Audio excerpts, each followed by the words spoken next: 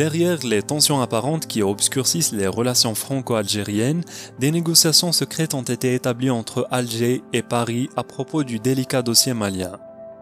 Depuis fin novembre dernier, les autorités françaises et algériennes tentent de négocier un compromis qui permet à la France de gérer la crise malienne avec l'appui d'Alger, a pu confirmer Algérie par au cours de ses investigations et ces négociations ont été marquées par l'arrivée secrète de l'envoyé spécial français pour le Sahel, Frédéric Bontem, l'ancien directeur du développement et des biens publics mondiaux au ministère des Affaires étrangères et du développement international et ancien ambassadeur de France en Éthiopie et représentant permanent auprès de l'Union africaine à Addis Abeba.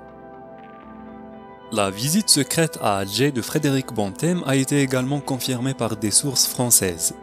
Preuve en est le média spécialisé Africa Intelligence, une publication professionnelle consacrée à l'actualité des décideurs et des élites dirigeantes au Maghreb et en Afrique subsaharienne, a indiqué que Frédéric Bantem s'est ainsi rendu dans la capitale algérienne fin novembre.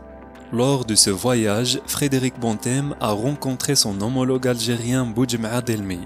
à savoir l'envoyé spécial algérien pour le Sahel et l'Afrique, confirme encore à ce propos Africa Intelligence, d'après lequel l'envoyé spécial français a abordé avec les autorités algériennes lors de son voyage à Alger la délicate question de l'intervention au Mali du groupe paramilitaire russe Wagner.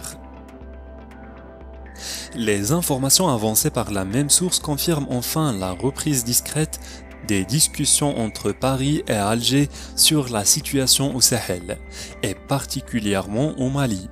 Les mêmes informations ont été également confirmées à Algérie par, plusieurs sources sécuritaires et diplomatiques algériennes.